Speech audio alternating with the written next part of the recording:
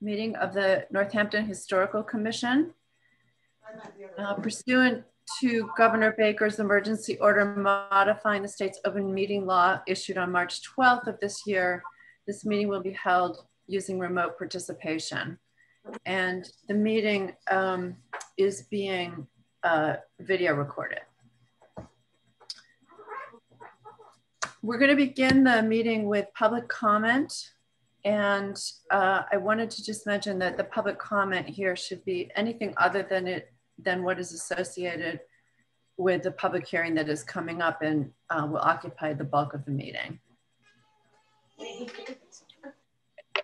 anyone wish to speak? Um, and also all of those, please um, mute yourselves unless you're speaking. Thank you. Can you repeat what you just said about the public comment now?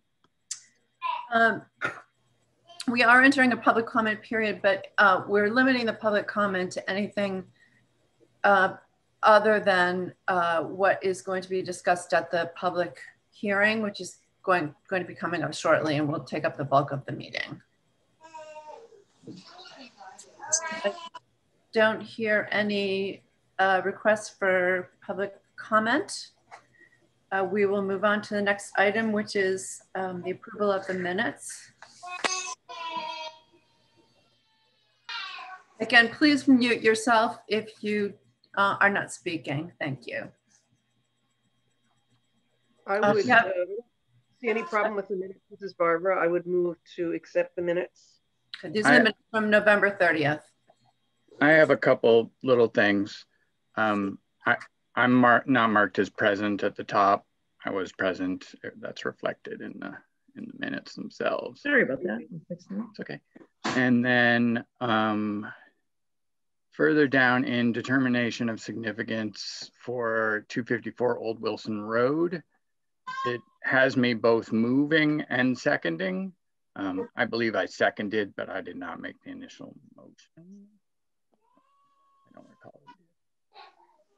I might have done that. I don't know. You can put me down as having. Yeah, that's that's what I thought. The motion. I think I did.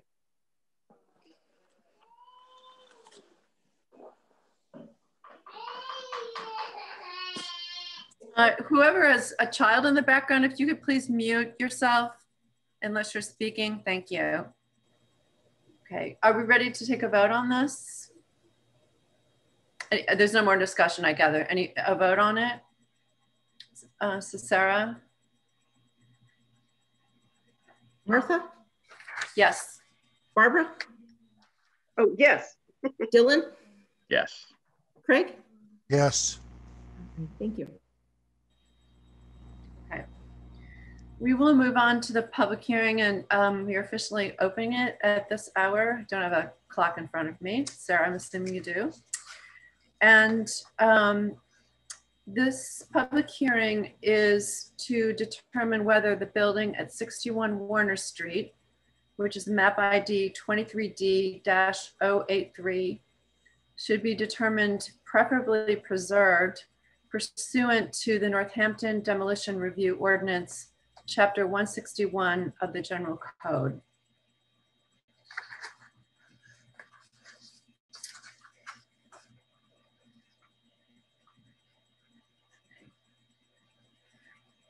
Um, as probably many of you recall and is in the minutes, the commission found that the building met criteria C and D as such was determined to be a significant building. And the commission must now determine whether it would be in the public interest to be preserved rather than demolished.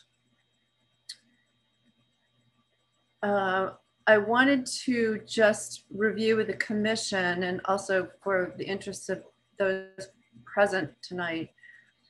In the ordinance, um, there is a list of evidence that can be gathered in order to make this determination. And I just wanted to spell the evidence out. There are nine different items. So the first is uh, what is the current condition of the building or structure? Second, how intact is the building or structure? Third, what is the age of the building or structure? Fourth, is the building or structure an exemplary, exemplary representation of a certain style or period? And if so, how many of those exist? What is the building or structure's role in the streetscape? Are there exemplary construction elements that embody distinctive characteristics of a period? Does the building or structure yield important information about history? Has the building or structure been designed by a famous or local architect? Has the building or structure been removed from its original location? And if so, does it still have architectural value? Or is the surviving structure importantly associated with a historic person or event?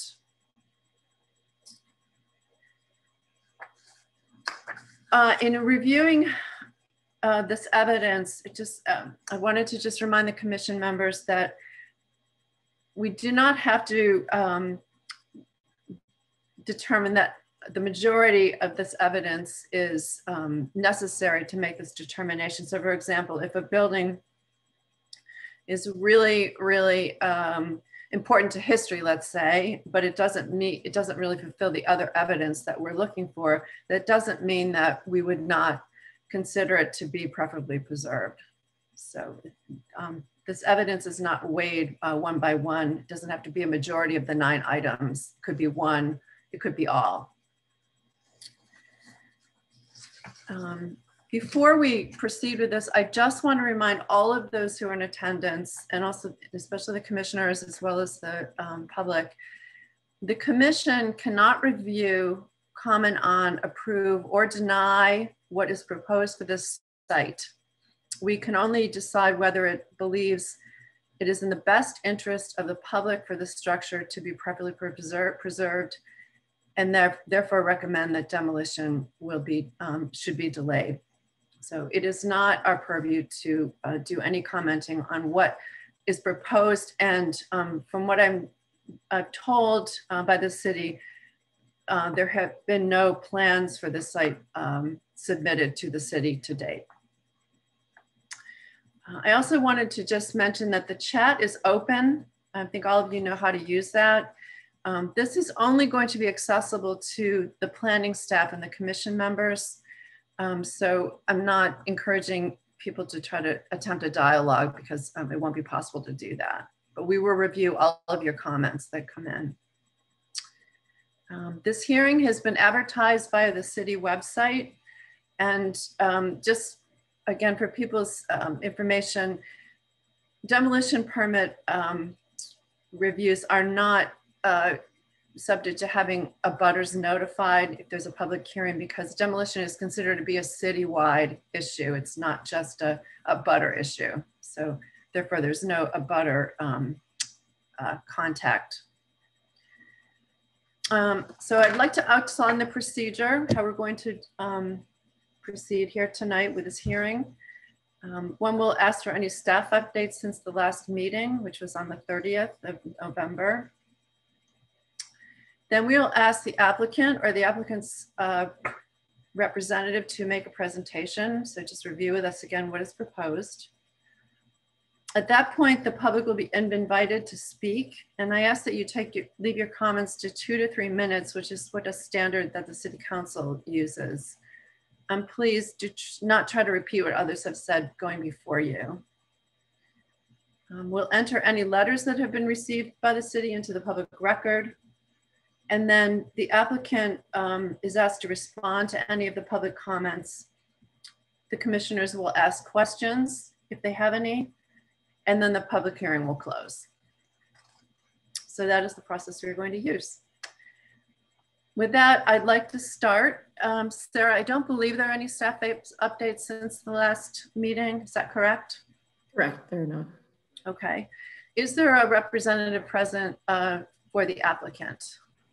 There is Ryan O'Hara of Bacon Wilson on behalf of New Way Homes, and New Way Homes principal John Hansel is here as well, but I'll be presenting. Okay, great, Ryan and John, thank you. Why don't you go ahead?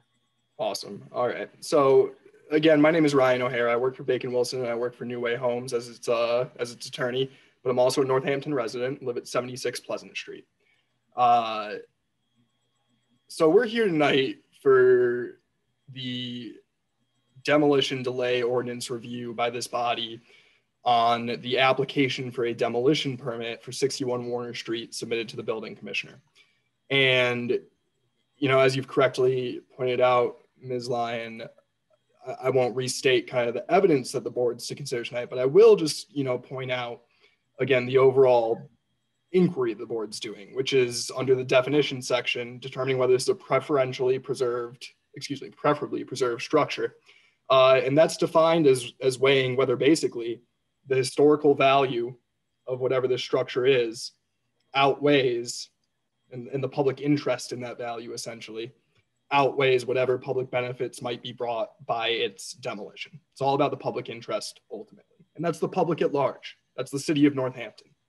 So, you know, with that in mind, I think what I'd like to do is first kind of talk about the structure that is there, and then, you know, just for the for the sake of the board, uh, or the commission rather, go into the specifics of, of our argument basically on, on why we think the, it's in the best interest of the city to demolish the structure. Uh, I do have some uh, photographs that I would like to share if possible. I know that Sarah had said that she was going to enable me to screen share, and that may well be the case. I am something of a screen share novice, so um, it, it should be all set now. Okay, I, I should be able to do this seamlessly, but if I can't, I apologize to everyone. Oh, it looks good. All right, can everyone see uh, a photo of a house? Yeah. All right, all right. So this is, and it'll be familiar, I know, to the, uh, oh, I'm sorry, I started moving it, to the neighbors, but the, the structure at 61 Warner.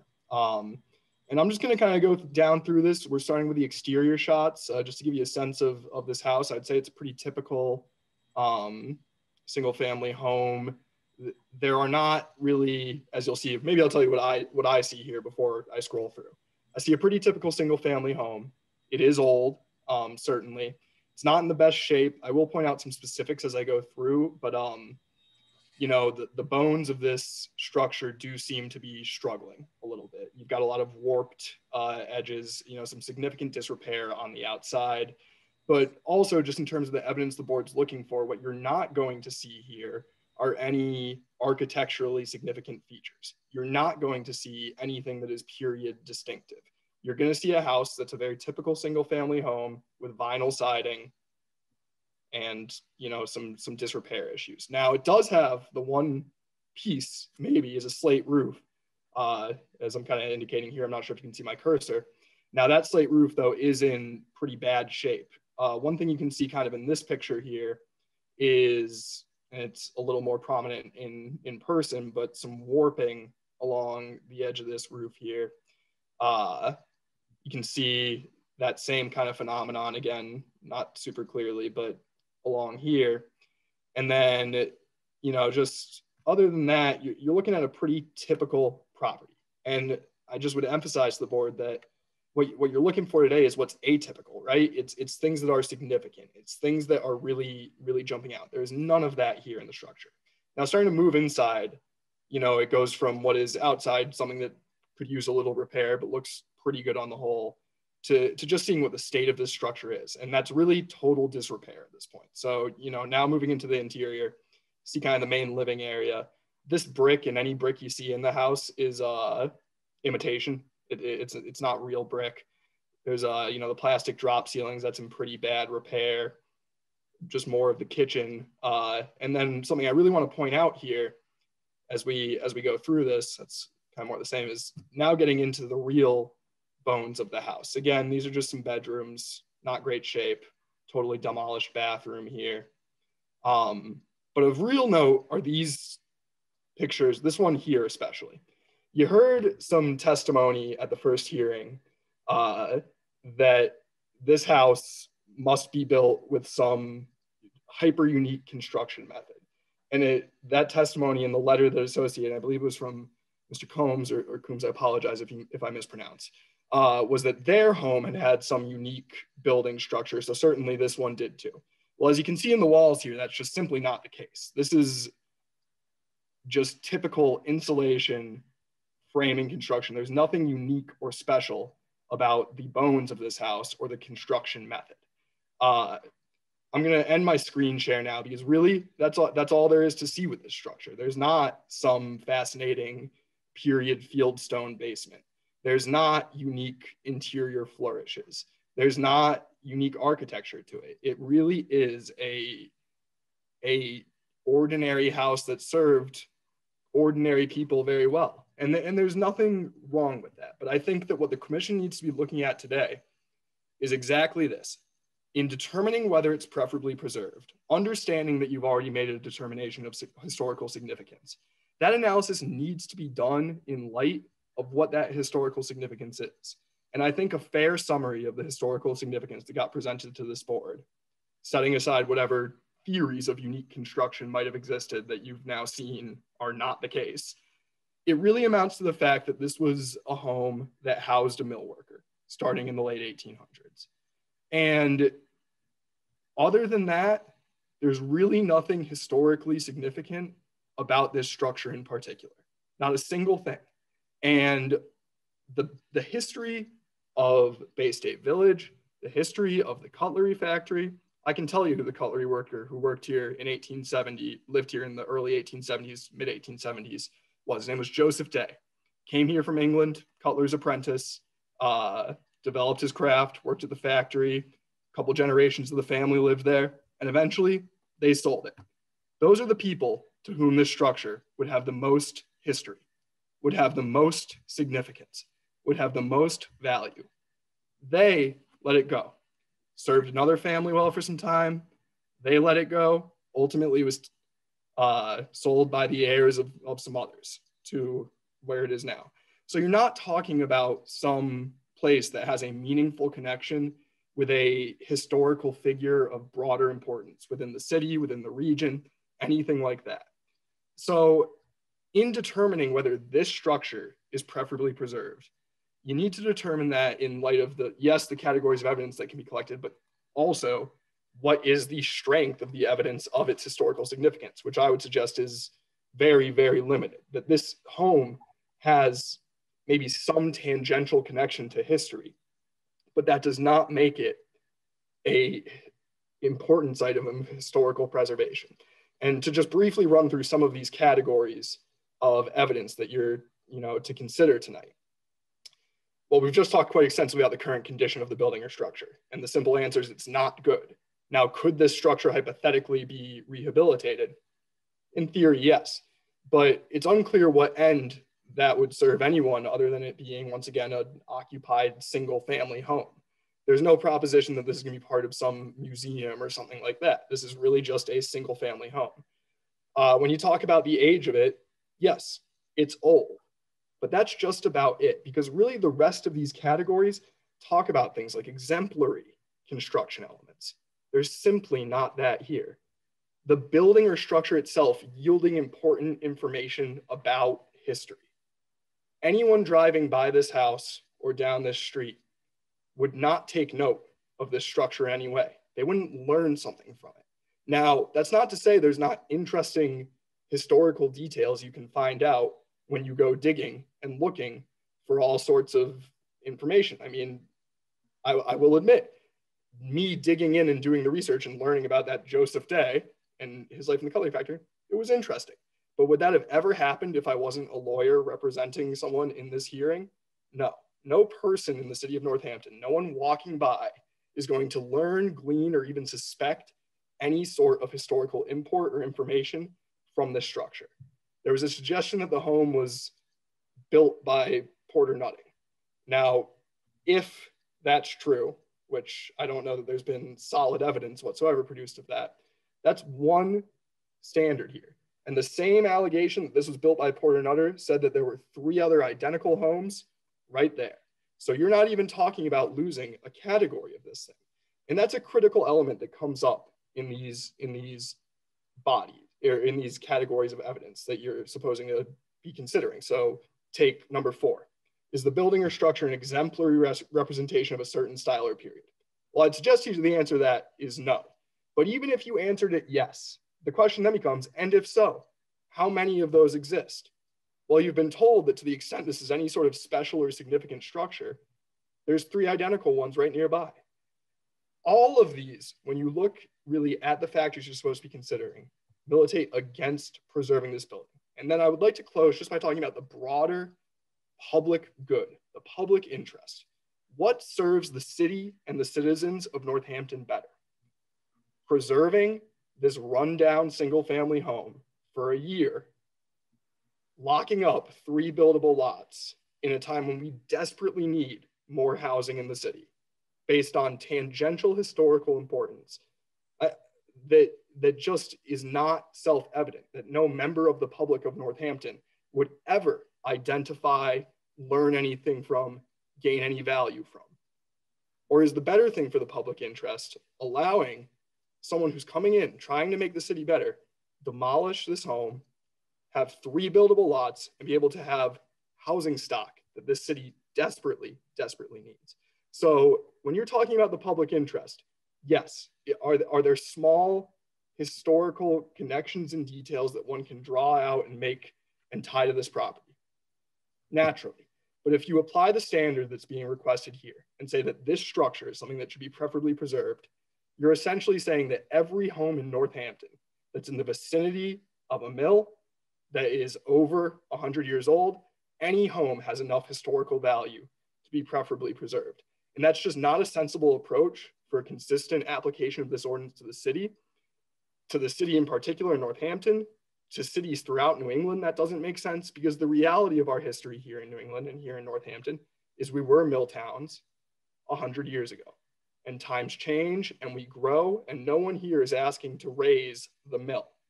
We're talking about a home that is otherwise unremarkable that a mill worker lived in at one point. And that is simply not the intent of this ordinance. It doesn't serve the public good to do. And we therefore request that you find it is not preferably preserved.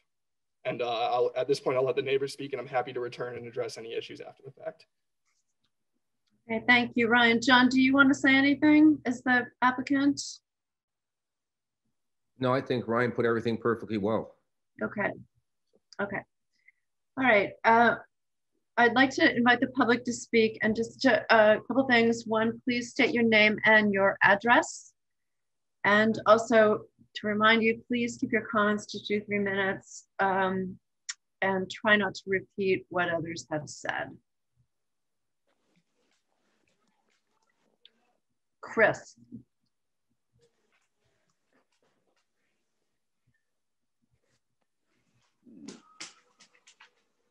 You're still muted. still muted.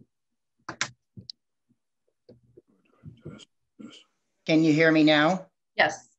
Okay, great. And, and you can still hear me? Mm -hmm. Okay.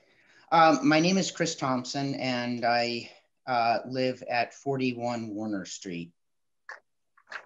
Um,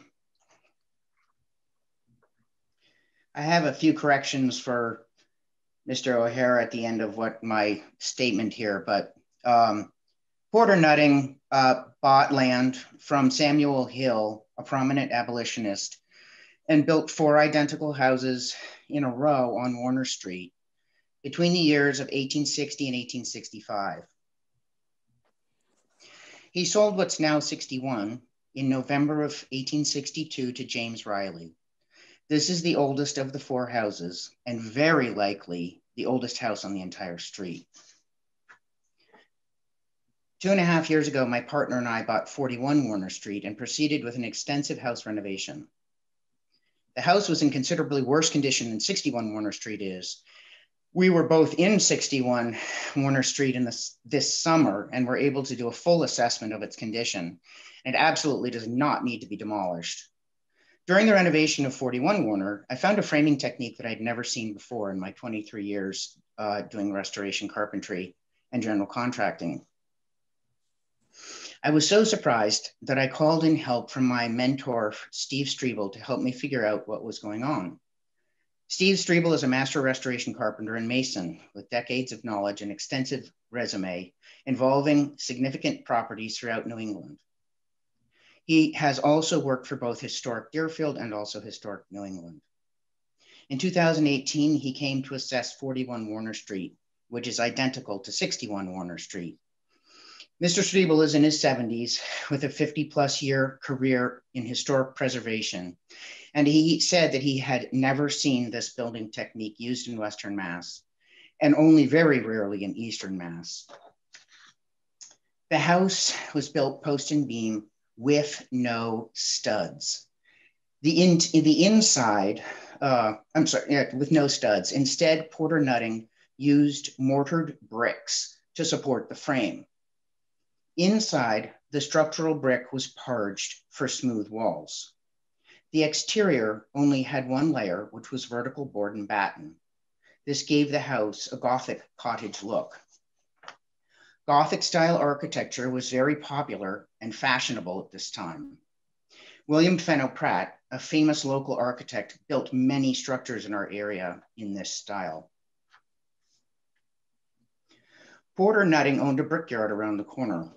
It was, and it was the Civil War era, and materials might have been scarce or expensive. Maybe this is why he built the houses this way. Regardless, they are, they are a unique example of ingenuity and engineering. Around the corner, a few streets over, Florence is in the process of creating a historic district based on cultural significance.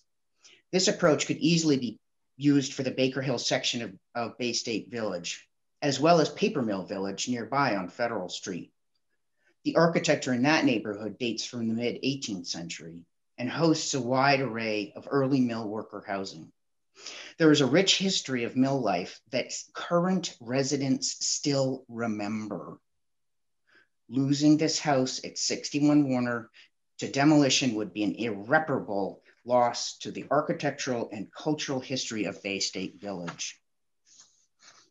And I would like to respond uh, just two things to uh, that Mr. O'Hara uh, mentioned. Uh, this is, he, he has no professional business uh, trying to come across with any kind of um, uh, complex knowledge of 19th century framing techniques. And I will respond to one of his photos where he showed an open exterior wall as proof that what I'm saying is not true. And the wall that was opened is actually part of an addition that was put on later and not part of the main uh, original block. Okay. And thank you, uh, everyone, very thank much. You, Chris. Um, and uh, next comment. Anyone? Hmm. Uh, is uh, Mark Jarvis would like to speak. Okay, Mark, please. Hi, everyone. Uh, my name's Mark Jarvis. I live at uh, 84 Warner Street. Uh, thank you, Chris. Uh, thank you, Mr. O'Hara. Um, I was a little surprised, uh, Mr. O'Hara, to hear you speaking so expertly on history, social history, architecture. Um, um, I doubt that you are qualified in those subjects. I don't practice law. And I don't expect you to practice those things at a meeting which is so important to the local residents. So I think we can ignore your expertise in that area whilst admiring your skills uh, in, in, in the legal sphere perhaps, sphere, perhaps. You started off describing this building as a typical family home in the area. Are we then to assume that anything that replaces it, that looks different to it, is going to be atypical? Or when that time comes around, will people hold up what Mr. Hansel intends to build as something which is entirely in keeping with the neighborhood, which fits in perfectly well. I think the building that's there is the building that should remain there. That's the building that makes its contribution to the history, the lifestyle, the flavor, the nature of Bay State Village. And Bay State Village is important to yeah. all of Northampton. It's part of the colour of Northampton as a whole. Each neighbourhood has its own flavours, its own distinctive style. Bay State has its distinctive style, and squeezing four a typical three or four a typical buildings onto that tiny lot does not serve our neighbourhood well. Thank you. Thank you, Mark. Anybody else? Uh, yeah, I have a, can you, anybody hear me? Uh, please identify yourself.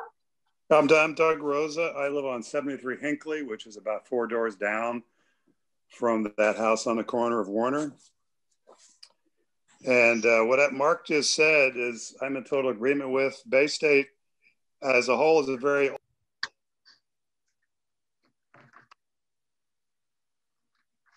Um, I think uh, we're having a sound problem. We, we lost you, Doug. Am I there now? Yes. Oops, okay. Um, and Doug, excuse me, just to clarify, are you also identified with Diane Fabeg? Yeah, that's my wife uh, logged on and, you know, we're, we're, she's my wife. Okay, that's fine. I just wanted to be okay. clear about it. Thank you. Um, Bay State's a very old neighborhood and you expect to have a real mix of houses. I mean, anywhere from the house on the corner, which is supposedly the oldest house in the neighborhood, up to my house, which was built in the 50s, a typical ranch house. So then there's a wide variety of architecture on the street. And I don't, from my point of view, maybe I'm in the wrong meeting, but I don't blame the builder for what's going on here. I blame the city allowing this sort of new construction to occur in an established neighborhood. I mean, Bay State's been around for a long time and um, I was part of the meeting that, that occurred uh, on Hinckley early on when Jonathan Wright uh, built eight condos up the street, demolished one single family house and uh, put in place eight condos, okay? And that to me was the start of what I regard as a very bad trend that's now occurring in my neighborhood, which is builders coming in, finding old houses that are in disrepair, regardless of their significance or regardless of the location, tearing them down and then replacing them with two or three or four, however many houses they can cram into a lot because of this city's uh, new zoning ordinance about infill, allowing the reduction of building lots and uh, reduction of frontage and all, this, all this other stuff that goes on to infill. And what's going to happen to my neighborhood is going to be an, an irreparable change in my neighborhood from a funky old neighborhood with a lot of architecture from a lot of different eras into a more unified architecture with all these contractor houses that are all look the same, two-story colonials, uh, which to me is very ironic because the city's infill began when they trying to uh, stop the development out on Route 66 of these uh, you know, far, far, you know, the suburban uh, um, um, uh, projects that were far, you know, removed from the city center city uh, all, all very similar in architecture. They said, well, this is not good having all these suburban sprawls going on. And now they're li lively promote the same thing in my neighborhood by allowing these builders to come in, tear down old houses and build these new modern structures, all of which look very similar. So to me, it's, it's doing irreparable harm to my neighborhood just by allowing builders, and I'm not blaming the builder, he's just following the rules. The rules were set up by the city, okay? He's following the rules. So perhaps, you know, the city is really to blame here. Um, but it's just a shame that they're going to come in here and find you to, to cherry picking different lots and saying, hey, well, there's an old house, you know, in disrepair and nice big wide, you know, uh, got a lot of acreage, uh, a lot of frontage, and we can, we can cram in two or three houses in this place. And what's going to happen to Bay State if this continues on? Because once this is allowed, and I think the, the, the development that Jonathan Wright put in four years ago was sort of the, the open the door to this whole change. What's going to happen to the neighborhood if this this if this carries on uh, without any sort of uh, you know uh, ability to say no, enough is enough. So that, that's my point. And maybe this is not really historical what I'm saying here, but I but as a as a resident of Bay State for 28 years, um, I learned to appreciate the neighborhood and all its funkiness, and I hate to see that funkiness disappear uh, under the uh, the aegis of the city of Seating, deciding that we need to infill, we need more housing, and therefore we're going to bend the rules on zoning and cram in as many houses as we can, because that just impacts everybody in my neighborhood. Doug, thank you very much. And I just want to restate, um, you are correct. This is not uh, something the Historical Commission is, is not under a purview to regulate. Um, the uh, issues that you are talking about, those are issues for the planning board and the planning department. I understand. Um, and you know, we register your comments. I know a lot of you have had those comments and they've come to us by email and by letter, and we appreciate that. However, we do have to stick with uh, what is in front of us. which is trying to decide about this particular structure. I understand. And I recognize that. I'm just ranting, I, but I, you know, uh, and I just want to, you know, I just wanted to tune into this meeting and see what was happening. But, uh, you know, Mr. O'Hara presented a very good case, but as uh, Mark said, he's not an architect. And of course, he's going to present a case to demolish the house because that's, he's representing the builder. So, you know, I'm not, I'm not, I'm not really, you know, buying what he's saying as being, being very honest, but that's just me. Okay, thank you. Anybody else? And please stick with your, please keep, uh, keep your comments to the issue at hand. Um, I have Catherine and Mary and Deborah. so who wants to go first? Mary, how about you? You're on top. and please unmute yourself. Hi, my name's Mary Clark. I live at 183 Riverside. So my house backs up to Warner Street um, in the block in which the house in which 61 is. I'm between Hinckley and Federal on Riverside Drive. And I just wanted to say that I truly appreciate the commission in looking at this. Um, our Hall of Records was destroyed. There's a lot that we don't know about houses in Bay State Village. My house was maybe built in 1885. And hearing what Chris has said, uh, and understanding the mill, uh, the fact that this was a mill area. I'm right next to the Fiker house where Mayor Fiker lived. And what's the problem with delaying for a year to try to find out all we can about this house? I, I am totally in favor of delaying a demolition to find out what we can find out. Um, we won't have a chance to find it out if we don't. If it gets demolished, we've lost that opportunity. We won't have the opportunity to build it again. Decide if it should be moved. Decide anything about it. So I'm in favor of delaying to learn everything we can about the house. Thank you, everyone. Thank you, Mary. Let's say Catherine. Hi, I'm Catherine Commodore. I live at 129 Warner Street up the hill. Um, I also want to thank the Historical Commission for this hearing. Um, um, the, the first thing that I just wanted to say was I'm kind of, I was kind of stunned to hear what Mr. O'Hara said um, uh, and, and how little value he put on the fact that this was a Civil War era house and also how little value he put on the fact that it was a working person's house. Um, I, I also live in one of the old mill style workers houses here um, and I value it greatly. I value the whole history of this street and the mill workers' houses on this street, including 61 Warner. I've loved hearing what Chris has told us about this house. I value that. I value that about living here. And so I, I, I was kind of shocked to hear that um, kind of thrown in the trash like that because it matters to me. It matters to me. Um, as I said um, at the, the, the meeting a couple of weeks ago, when we purchased our house, it was also in a state of disrepair. It was in the deep bargain basement. We paid very little for it. It was in not very good shape, had been neglected for a long time. And the first meeting with our architect, he recommended that we tear it down because that would be our best value. And we had no interest in tearing it down. No interest, and I have no interest in seeing 61 torn down at all. Um, that it, um, Chris has said that it can be repaired. I trust him. he knows what he's doing, it seems like, with this. And um, that uh, it would, I, I, would love to see somebody take care of that house and steward it back to life again.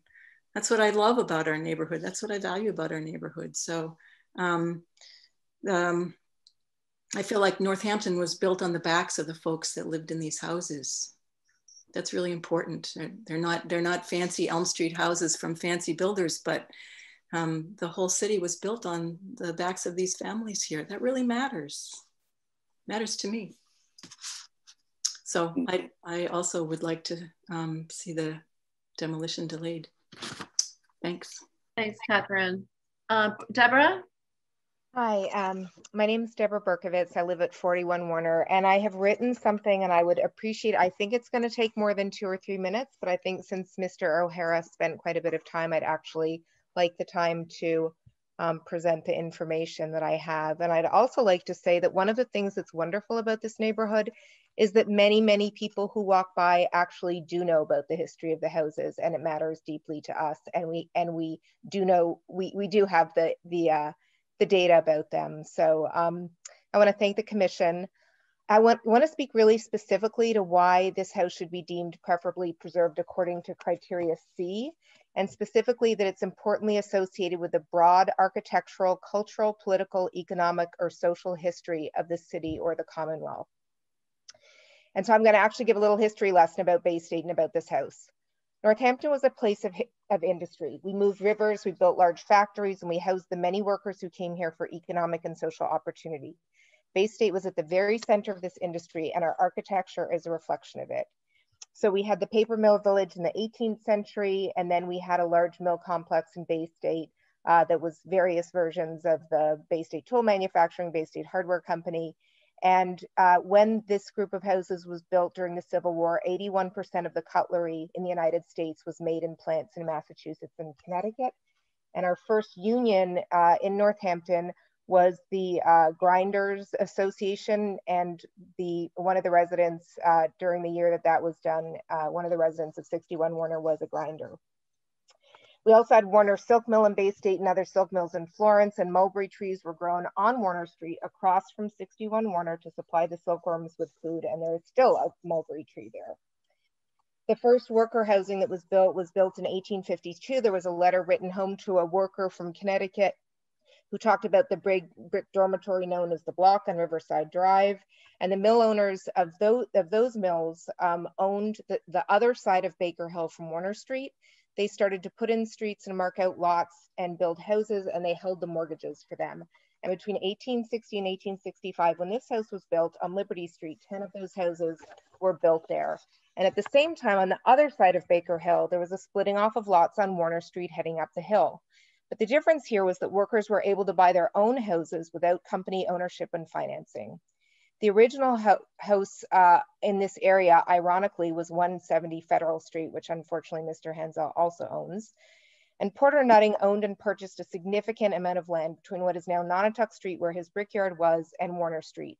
He owned land on the south side of Warner, and in 1860, he purchased five acres from Samuel Hill on the north side of the street and he proceeded to build four houses that are all still standing from 61 Warner eastward to 35 Warner. They were the first houses on the street. Um, Chris gave the dates between November 24th and 1862 and November 1st, 1865. And for decades, these, these were the only houses that stood on the north side of the street. They were a significant block in and of themselves. And in 1895, there was still nothing behind these houses. So what we have is we have a spurt of development in the 1860s, spearheaded by Porter Nutting, and then the street remained the same for many decades. So these houses were prominent and they were tight community socially and architecturally. Myself and many others have spent dozens and dozens of hours, uh, both now and in the past, researching the deeds on these properties, the city directories, census records, markings. I really want to thank Jackie Balance and Steve Strimer also for their help. So I can tell you that regarding 61 Warner Street, I can say with almost total certainty that Lafayette never slept here. but who did sleep in this house? And in the matching three houses were people who moved here from England, Ireland, and Germany for a better life to take advantage of the opportunities presented by employment in a growing industrial town and the ability to own their own ho homes replete with enough land to raise animals and crops to feed their families. Interesting. They were machinists, cutlers, these were the people who lived there, machinists, cutlers, grinders, polishers, brick masons, stonemasons, farmers, and later police officers, clerks, and stenographers. They were the people who built Northampton physically, economically, and culturally, and they suffered for it. When one looks at the homeowners on Warner Street, there's a disproportionate number of widows, likely widowed by what was called in Bay State grinders pneumonia. One of the nutting houses, number 35, was purchased by James and Hannah Slattery. She was not literate from Ireland. He was a stonemason who died at 51 of bronchial disease, and she died at 55 of, quote, exhaustion. John Vogel of 53 Warner Street, these are Porter Nutting's houses, a German farmer, was widowed at a young age.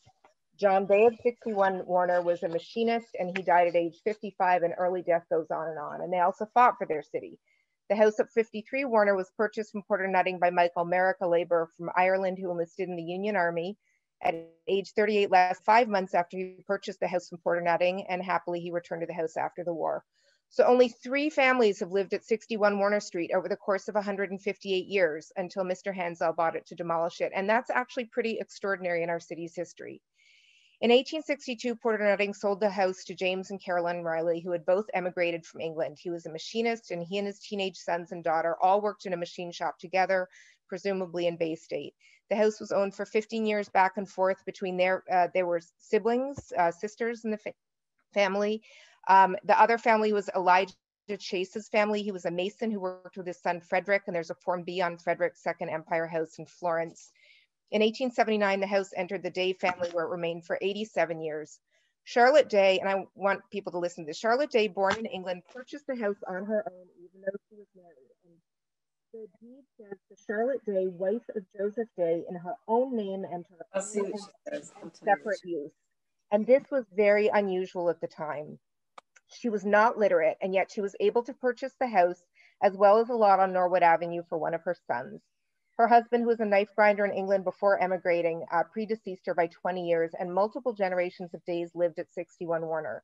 She had a son, John Day, also born in England, who was a steel polisher, and her granddaughters wove braided rugs. Charlotte Day, interestingly, created infill with the building of another house on the lot for family members. That's now the that's now the house that is on Hinckley Street behind this one. And it was the kind of infill that I supported when the zoning regulations were passed. The infill that I supported was not Mr. Handel's version of infill, which is to fill in every possible bit of land and leave nothing else standing. So one of the Day sons purchased another nutting house two doors away. And again, what I'm trying to say here is that this was a tight interwoven community for houses. And so Mr. O'Hara's claim that if we get rid of one, it doesn't really matter. That was not how that house has functioned historically in this neighborhood. The last owners of the house were the Raymonds for 56 years, and they were ordinary people living ordinary lives. But cumulatively, they and their houses reflect exactly what this ordinance was designed to protect, especially criteria C, why should their history and legacy be any less valuable, any less necessary to protect than grander homes built literally or through profit created by these very residents? Even temporarily standing in the way of demolition of this house shows respect for the lower wage earners who actually did the work to build this town. These houses are the epitome of vernacular architecture, and the still existing streetscape is the epitome of mid 19th century mill village life.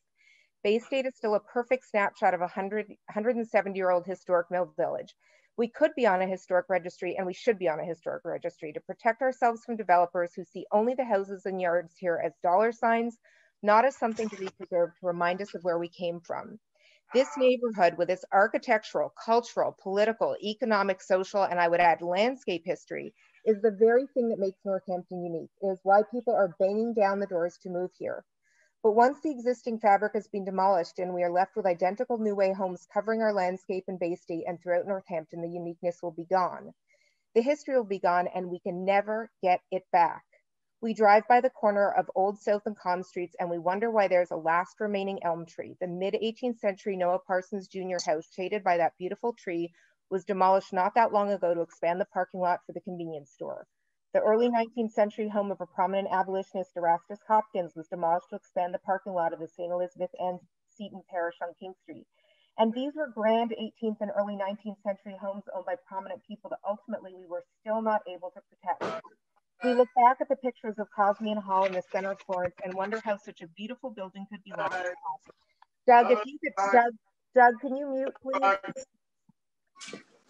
In the not too distant future, not just those of us in this meeting today, but the broader community, the broader people who are served by the public interest, will be shaking our heads at how we lost Bay State Village, how we lost the affordability of our modest housing stock, how we lost our open lots that unconsciously allowed us to breathe a little more easily, how we lost the trees that provided habitat and helped to protect our fragile planet, how we lost our charm, our history, how we allowed a form of vulture capitalism telling us that one has to maximize every possible dollar from a piece of property, regardless of the cost to neighbors who have lived here and paid taxes and invested our incomes into our houses over decades, regardless of the cost to the community of removing and not replacing housing that is financially accessible to people who live here and work here at regular paying jobs, regardless of the cost to the city of losing what made it unique, regardless of the cost to the environment of tearing down houses and building ever larger chemically laden, carbon heavy houses dependent on fossil fuel.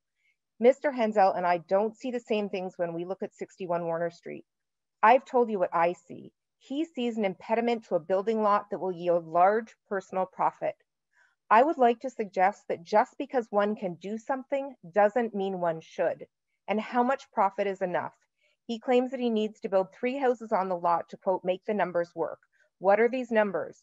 Why isn't 25,000 or 50,000 or even $100,000 enough of a profit?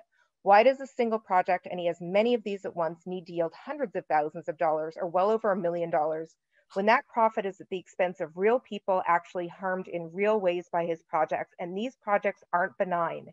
They are rending the fabric of our community, the fabric of our community, of our homes, of our peace of mind and well being, and they're annihilating our history. There are alternatives to demolition through communication and collaboration per the demolition statute. That is what the demolition statute is looking to have happen in a year, not to just have Mr. Hensel sit on this. One solution is to build a single additional house on the lot and leave the existing house that's there. Frankly, with his plan, he can build two houses and leave that house still there. But the best case scenario for the public good is to leave the whole property as it is, recoup his expenses, and walk away. I know people who would happily buy this house I know someone who wanted to buy it, who was exactly what what this what what people are looking for with housing in this city. A first-time home buyer who could only buy a house in that in that price range and would live in it and fix it up slowly, as many of us in this meeting did, in order to be able to afford a house in Northampton. I'm almost done. Thank you. It is heartbreaking to me that this commission does not have the ability to permanently stop demolitions. But even if it's only temporary, I, for one, will not stand by and be quiet as we lose these critical pieces of our history. It is hubris, sheer hubris, for somebody to come along, especially somebody who's not of this community, and demolish a house rich in local history that has been in a permanent location for 115 years. And look at 170 federal people.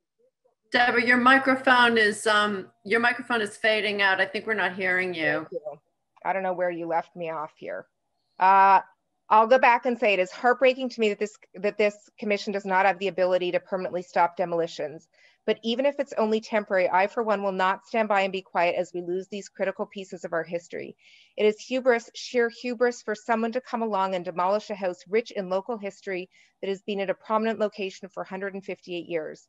Look at 170 Federal Street. It was our other prominent house up on a hill. Is this what we want for the public good of Northampton? Where is the respect for this community, for the people who lived here in the past and who live here currently? What is the value of preserving a history that can never be regained?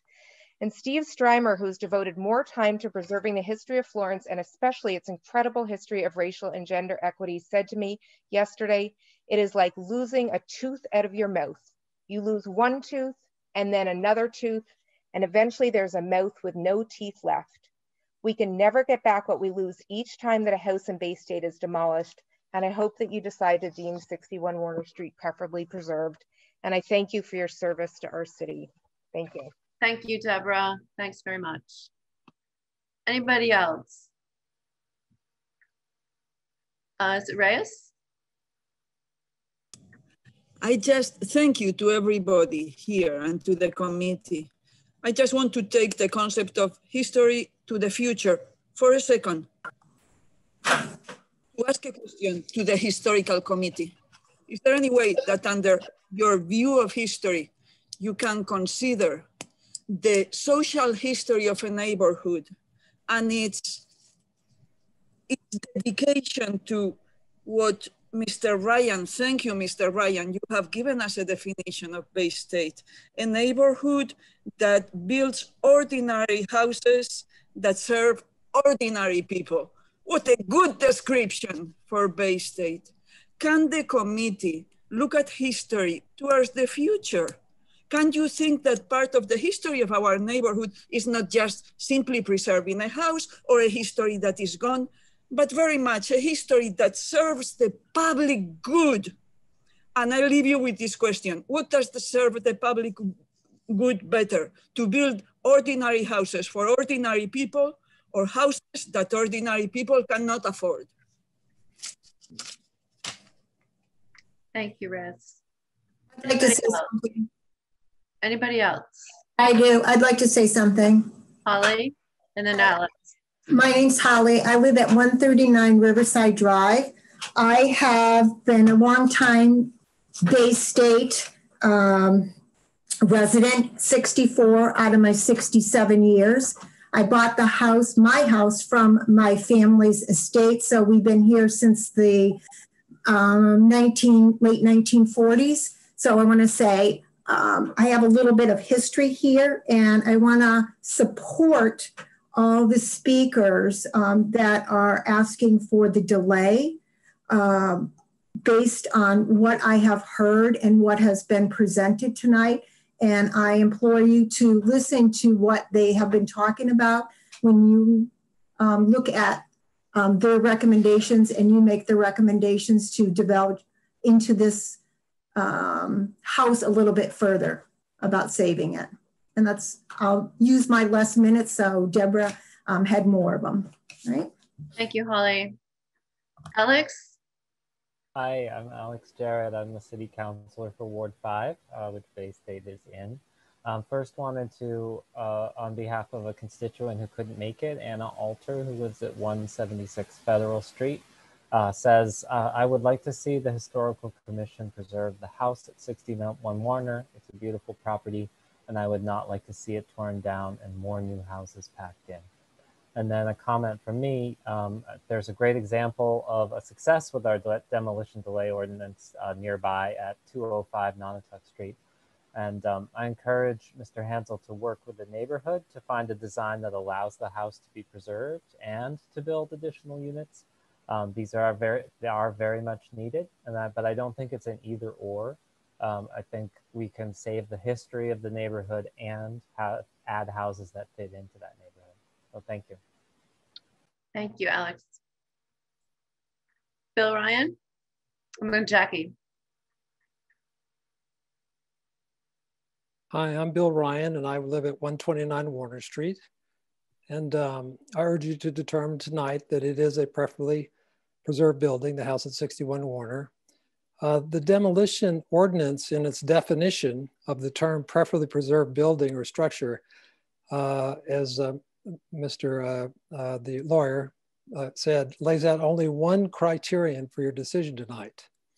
And that is for the 61 Warner House, do you determine that it is, quotations, in the public interest to be preserved rather than demolished?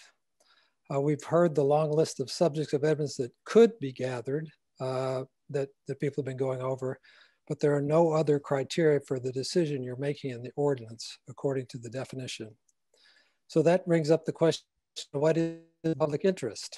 Uh, and uh, I couldn't find a definition in the Northampton Code of Ordinances, nor anywhere in the laws of Massachusetts, but Black's Law Dictionary, which according to its publisher is the most widely cited law book in the world, uh, gives us a good definition. Uh, something in which the public as a whole has a stake. Something in which the public as a whole has a stake. Uh, so the question becomes here, is the demo of the house at, at 61 Warner Street something in which the public as a whole has a stake? And I think the answer is yes, indeed. There's been a lot of discussion from other people uh, about the the uh, the neighborhood. Um, all the all the houses from our house at uh, kind of the top of the hill at 129, all the way down to the end on the north side in particular, were all mill workers' houses almost. There's, there's there may be one or two other houses that, that aren't. And so they've all been changed over the years and added to and stuff, but the core of each house is still this mill workers' house. And as um, uh, uh, Chris and Deborah pointed out, the value of particularly these houses. So um, to go to one of those uh, lists of other evidence that could be gathered, uh, which is the streetscape. We also know the house is an important piece in the general flow of the streetscape um, in its own block because there's so many houses that are very similar to it. And so there's a coherence to the streetscape with that house there. And as a connector to the adjacent block across from Hinckley Street, which if you keep going up, you find uh, several houses that have Form Bs form for, uh, done for those. Plus we also know, and or we must, we got to assume that uh, Mr. Hansel intends to demolish the house and build uh, three modern 35 foot tall houses on this small property, uh, similar to the two houses he's currently constructing near the corner of Warner and Federal. Uh, such massive, expensive houses will not fit into this historical streetscape and will instead lead to its further disintegration. So as so many people have pointed out, we clearly, the public as a whole in our neighborhood and the city has a stake in whether the demolition of this house proceeds. So please vote for the public interest uh, rather than his private interest. Please vote yes and designate this house as a properly preserved building. Thank you very much. Thank you, Bill. Jackie. You need to unmute yourself, Jackie. There. Perfect. I, I, I wanted to uh, point out that some of Mr. O'Hara's photographs were misleading. One I noticed as um, Chris did that he showed a wall that said this is ordinary construction, but it was in fact a wall of the addition, not a wall of the original house. And the shots he showed of the interior that looked like they were demolished were in fact under demolition, as I understand it, by the previous owner when he and his wife, oh, they used to have beautiful flower gardens in the front. They were they were house proud people, and they were in the process of renovating that house when they split up. And the day that they moved out, their their their son came down and stayed in my yard. He was so heartbroken to be leaving his home to that his mom and dad were splitting up. He was going to new school, but that house was not in bad condition because it was let be deteriorated. It was, in fact, undergoing renovation. and I'm also familiar with um, Joseph Day and his family when they lived at 61 Federal. The Slattery family lived in my house at 35 Warner Street. I said Federal, I meant Warner. It's on the corner. Corner lots are so desirable. Um, when my friend Mary Lou bought this house at 35 Warner in 1975, she was immediately proud of the fact that it was a mill house and has spent years researching the families that lived here and the changes in construction, the additions different families have added on. And the fact that there are these, this is one of the, the four so-called identical houses, which are not to be dismissed because they were built identical. Each house has been here for more than a century and families have added on. Some, one house has a front porch, one house has a back porch, another house has a craftsman stairway, another house has a big rear deck. They're all different and distinctive and they tell the lives of the people who live here.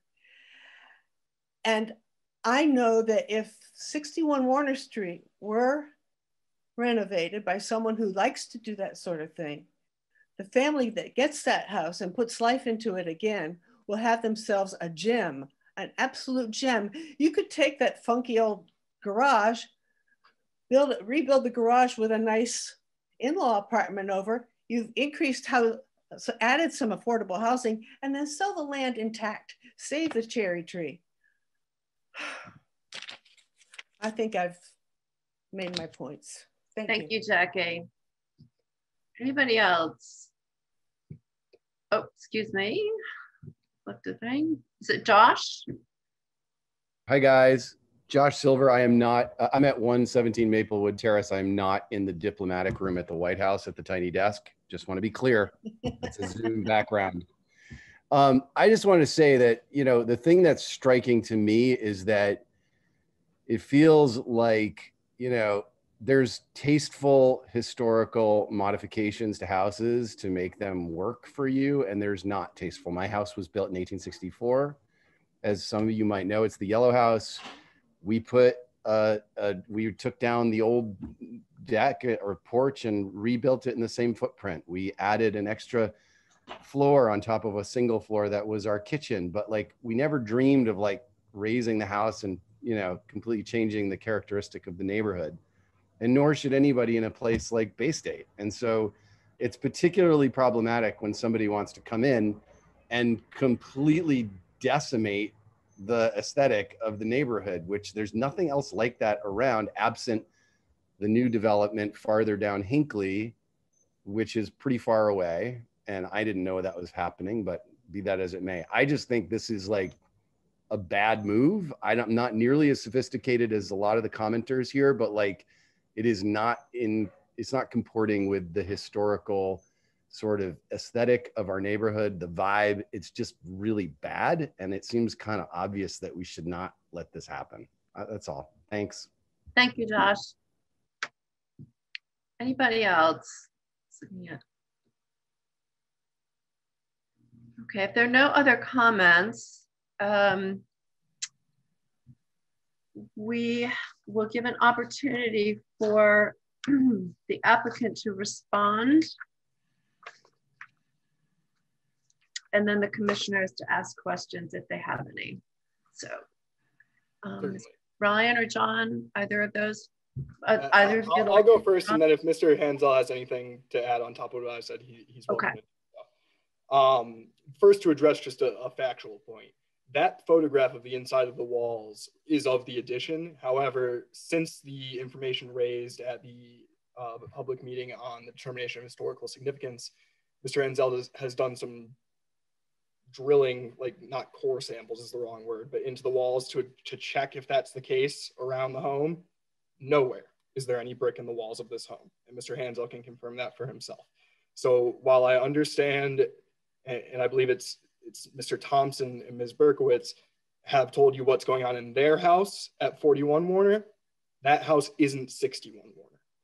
Uh, second, to address, uh, you know, another point that was raised here it, is I've had the opportunity, someone was just talking about tasteful modifications to these homes. I've had the opportunity to drive up and down Warner Street a, a good deal since I started getting involved in this and just over the course of my lifetime. And I can say that Mr. Thompson and Ms. Berkowitz have a beautiful home. It's obvious the care that they've put into it. And I don't know how much of it is modifications over the years or whatnot. And that home is a home that has what I would say some distinctive architectural characteristics, things that make it exceptional.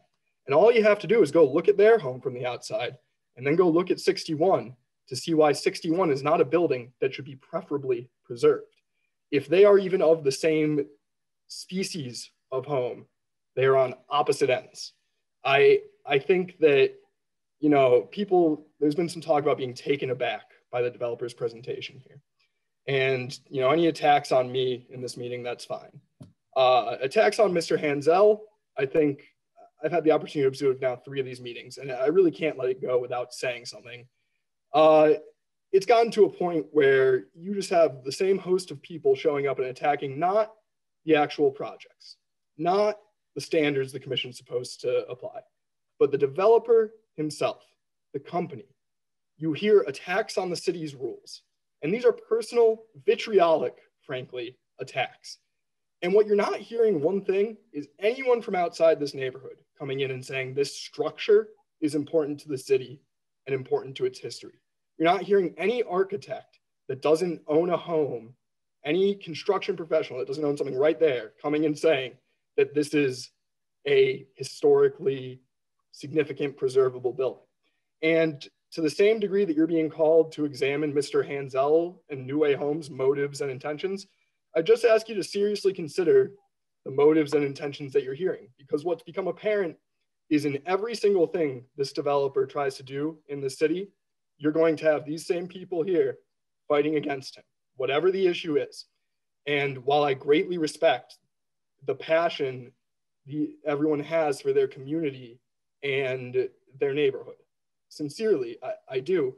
I think at some point on specific issues, like when you're talking about these nine factors, and this structure and its actual condition and what makes it, if anything, unique and architecturally significant, you have to question whether one, a lot of the evidence that you're hearing in this public hearing actually is at all relevant or directed at that issue. And two, whether it's really sincerely motivated by a belief that this is a historically significant structure and not this overall campaign against Mr. Hansel, his company, and his developments that is ongoing. And you, you've seen for yourselves tonight the level of vitriol and passion that's directed towards against him and any of his representatives. So, you know, I'm happy to answer any of the board's questions about the demolition permit, about the criteria of the ordinance. I, I don't believe you've heard anything across of this meeting that tells you that this is a structure that's in, in any sort of good condition, that this is a structure that is in any way exemplary of architecture. And, and I would just urge and remind the commission that we're talking now about the structure itself and whether this structure is preferably preserved.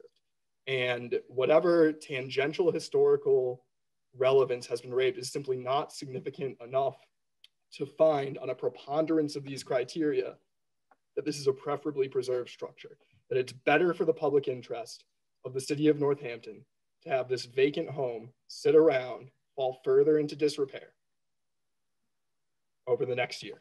And respectfully, for that reason and everything that's been argued tonight, I'd ask that you find that it is not a preferably preserved structure.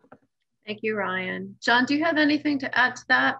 Yes, I do. I'm very taken back by the fact of what people tell me I'm supposed to do here as far as more land, because Deb thinks everybody's supposed to have it this way. That's her vision. My vision is having more families in the neighborhood that enjoy the enjoy the neighborhood. That's and that's the way I see it. I don't see myself as destroying it, but that's the way she sees it because that's the way she wants to keep the neighborhood. That's what she moved into, and she's supposed to keep it her way. Not one person's vision is always right. And so I don't think that I'm just taken back by it. It's like I got my piece of the pie. I don't want anybody else to have a piece of the pie. And with all these people that share how I should do this, how I should do this project, it's it's uh, that's their that's their point. That's their opinion, I should say. It doesn't mean that they're right. Doesn't mean you know everybody has an opinion. And and Martha, I just don't think that that's the correct way. We're supposed to be first talking about the house, whether it is historical, and everything was, in my point, off track. They think the house should be done, developed this way. They think it should be developed that way. And there's nothing historical about the house. I went to the house, and even though the, uh, her partner says hers is with uh, brick and everything, I went to the rest of the house. I didn't see anything there. Her house is not my house. And to, to assume something is incorrect. So I, I, don't, like I said, I'm just taken back by the whole thing. And I really don't know what to say here because of that. And that's why I let Ryan do the talking because and I just don't like when people say that this is how it's supposed to be. If we did everything, everybody has a different view of it. And I see the families coming in. I know the people who buy my houses and they're all happy with them. So it's just, like I said, I just think it's a slander. I think it's gang mentality. It's a mob mentality. And that's about it. It's, that's what it is. Okay, John, thank you. We, um, I think the commissioners would agree with me. We, you know, we are really focused on the matter at hand, which is the, the structure and um, the evidence that we have laid out in front of us.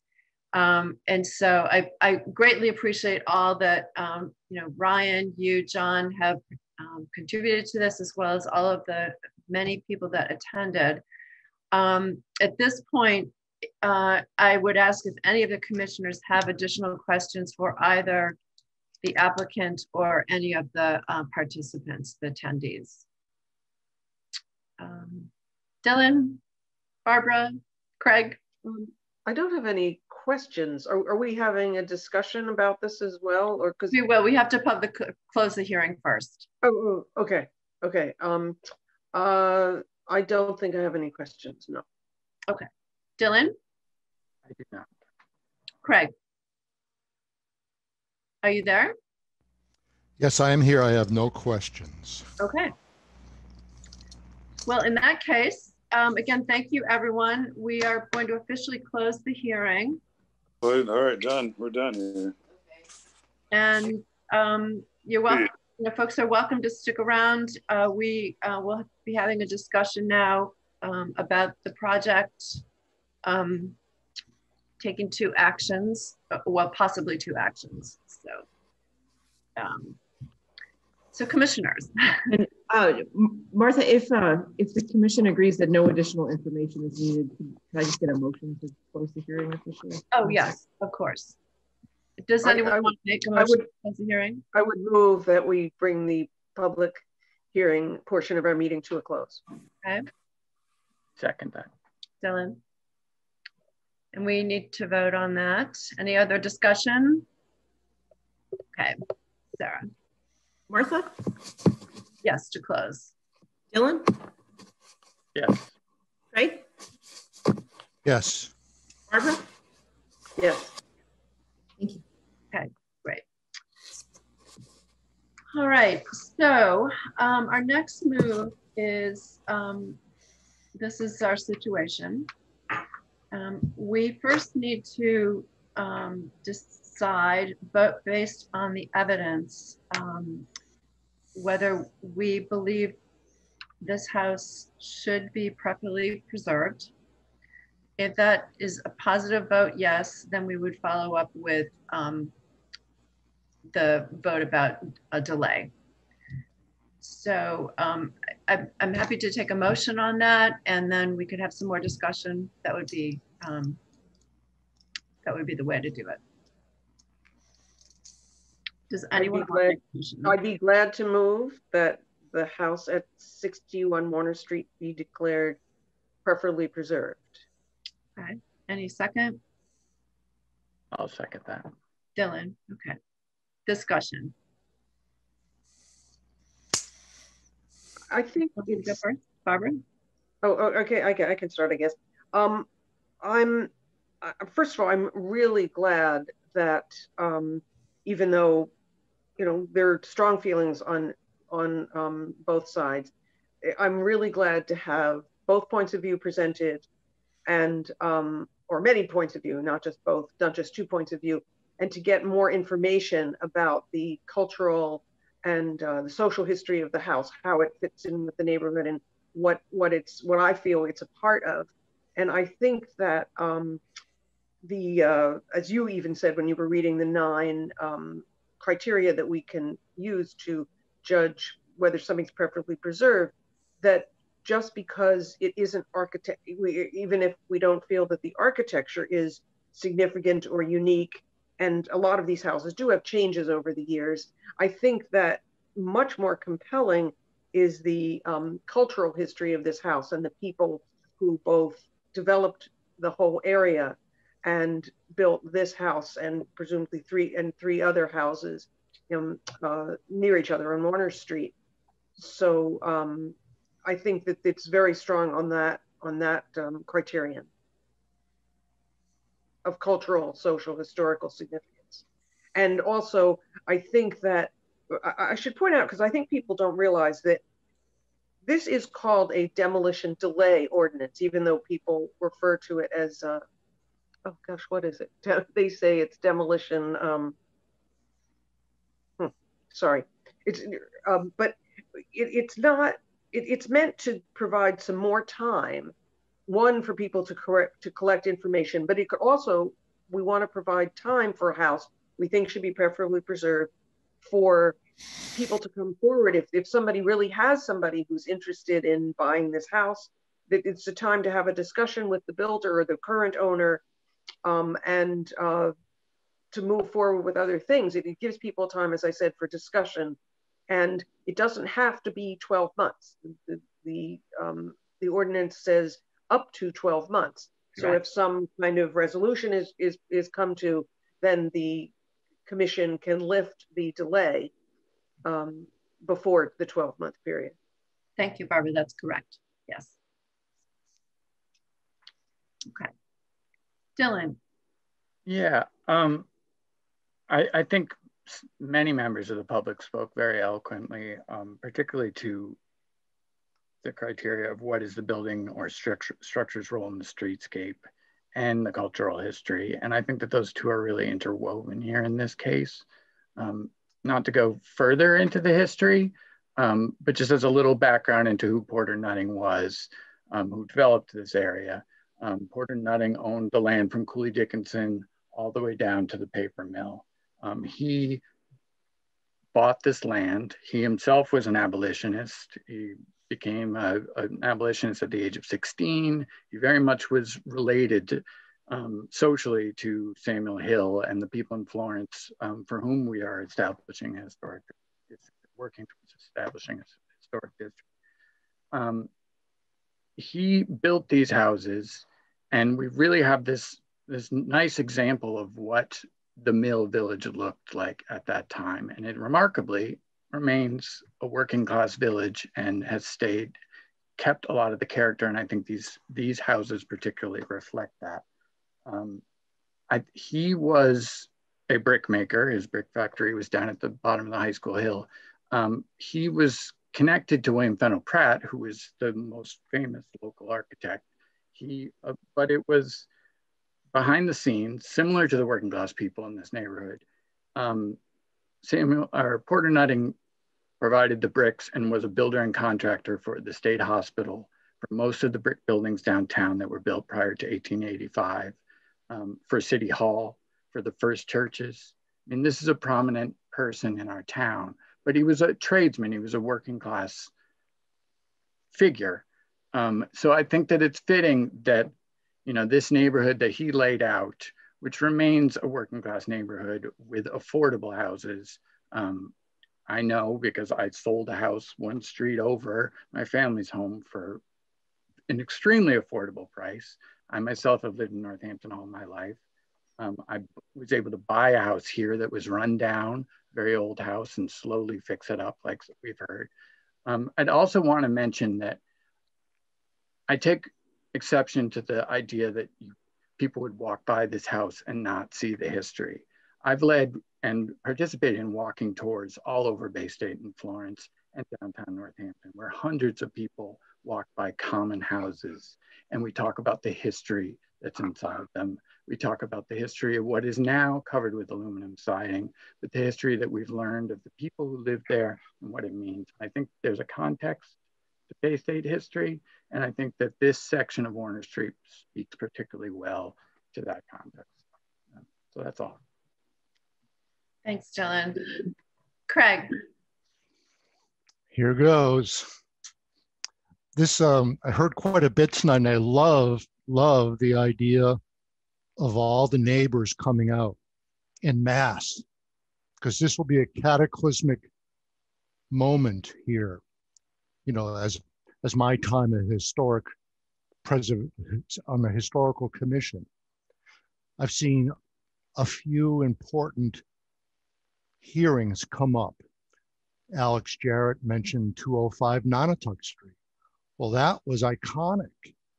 That was the first time that a demolition delay review came up that we actually stepped up to ensure that the building would not be torn down. And that's at 205 Nonotuck. That's where the David Ruggles Center for Early Florence History and Underground Railroad Studies is. So important in the context of the last 18 months. And the first live workplace in the city came about because we saved the ubiquitous, forgotten little 1,300 foot one bathroom house. Another iconic thing that took place recently, more recently, that was just uh, the building we lost on King Street, the most historic house in the city, some would say, the Erastus Hopkins House, which was turned by, turn, uh, torn down by the diocese. And the moment we voted it to be preferably preserved, they went on a one year time clock. And when the thing timed out, the excavator started up and it was torn down.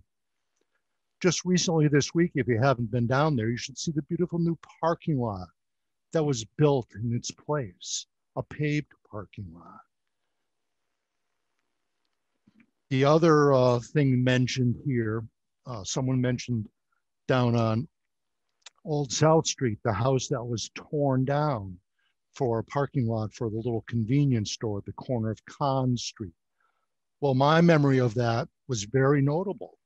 That's how we got the demolition delay ordinance passed in the city because it was so painful for people on their commuter route out of town to see the building get torn down board by board by board. Every day you saw less of it and put onto a flatbed trailer or two that then went to New Hampshire. And then the guy who did that actually mismarked the boards and couldn't reassemble it. So then it gets sold and goes back up to New to Williamsburg to be reassembled and sold for close to three quarters of a million dollars. So that's just one of the strange things that happens here. But this, I was very, very pleased to see everybody here. Uh, and thank you, Councillor Jarrett, for coming. John Hansel is a, is a nice, honorable guy. I know him. I know his work is high quality. But this is, um, some, he's overturned the hornet's nest on this one.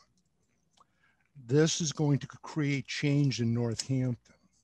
I create change all over the Commonwealth.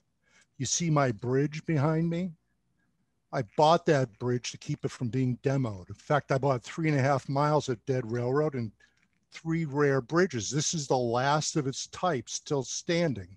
And it, the big cataclysmic change that came about because of this, DOT is slowed down in the sales of dead railroad, and this will now be a part of the 100 mile trail.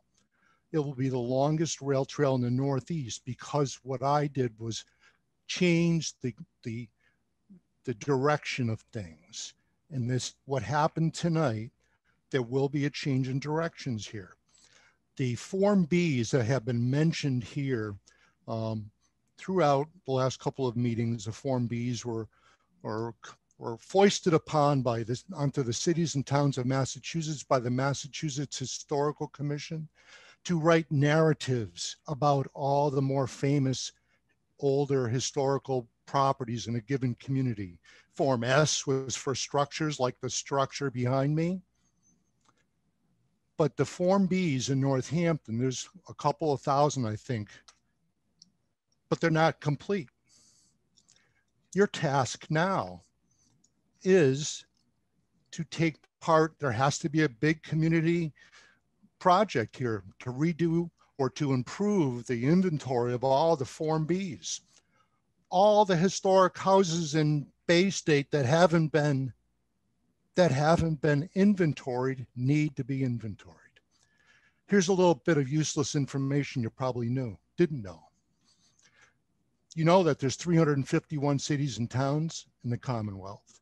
What you probably don't know is that there's 1,400 plus little hamlets or unincorporated villages in these cities and towns that live on the Secretary of State's website. If you go in there onto the website, plug in unincorporated cities and towns, you will see Bay State Village, along with a myriad of other places you never know existed. All of those places are ripe for Form B inventory creations. You need to do this and I've I've heard over the last several months here about this issue on Landy Avenue, on on Warner. People feel blindsided by this process, and there has to be a cohesive outreach to the city. How that happens, I do not know. I am not the expert, but I do know that the Bay State Village Association, one of several village associations that have come to be in the city needs to take the lead on this and needs to improve the reporting so people don't feel steamrolled or blindsided by these things. And so there can be a more thoughtful discussion before it becomes panicked and, and the clock ticking down on you. And it's just, that's what I would like to see. I, I, I too have been in the little house on on uh, 61 Warner. It's encased in vinyl siding. And I like to say that vinyl is never final. It can be restored. And I know about restoring old Civil War era houses since mine at 62 Chestnut Street is one of nine built by the Florence Sewing Machine Factory to house the department heads. To stay with us and don't go off to war, we'll build you all free houses. Well, that's a pretty notable thing. And I love living, living in the village center. And I can sense people love living in Bay State Village. And um, once again, thank you for coming out tonight. I hope you continue on to what, what needs to be done. Thank you. Thank you, Craig. Okay, um, I just want to echo um, what the fellow commissioner said. I uh, agree with all of it, and it was also stated so um, so clearly and forcefully. Um, I really appreciate it. Thank you. And um, so I, I don't want to add any more comment. Uh, I think everything has been said. And unless any of the commissioners have anything more to add, I think we should, um, I should entertain a motion. And this would be to either um, determine the house to be properly preserved or not. I, I did make that motion already, Martha. This oh, you did. Discussion. I'm sorry. I lost in your. I was lost in your. Um. Yes, thank you. I think that. I think I did. Sorry, there's a motion and a second on the floor. Yes, that's right. Thank you, Barbara.